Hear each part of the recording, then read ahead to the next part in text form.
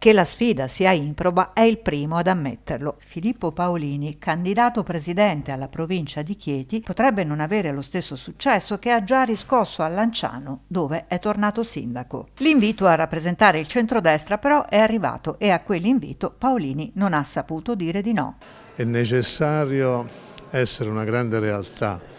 eh, non si può lavorare con il vecchio campanilismo, bisogna lavorare tutti insieme se vogliamo intercettare i fondi del PNRR, che è l'unica occasione che ci sta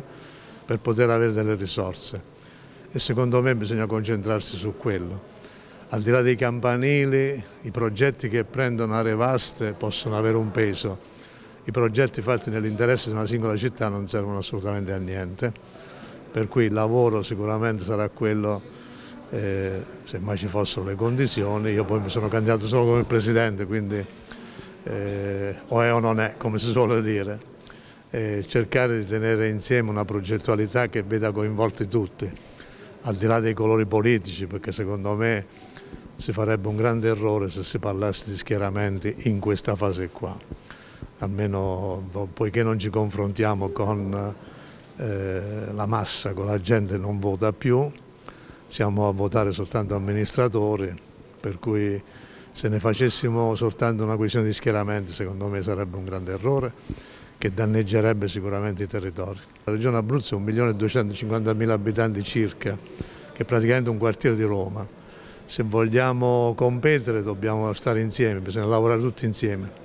perché se lavoriamo da soli non intercettiamo neanche le risorse, questo è il grande problema. Quando ci si candida non ci si candida sempre per vincere, si può anche perdere,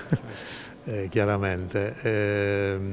sì, sappiamo benissimo che i numeri del centro-sinistra sono notevolmente superiori ai numeri del centro-destra, inutile nascondersi dietro un dito,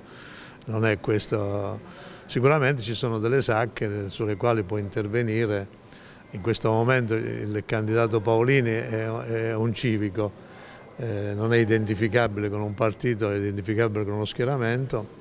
ma io lo identificherei più con persone che hanno voglia eh, di un cambiamento all'interno della gestione della provincia che probabilmente è stata un po' chiusa su se stessa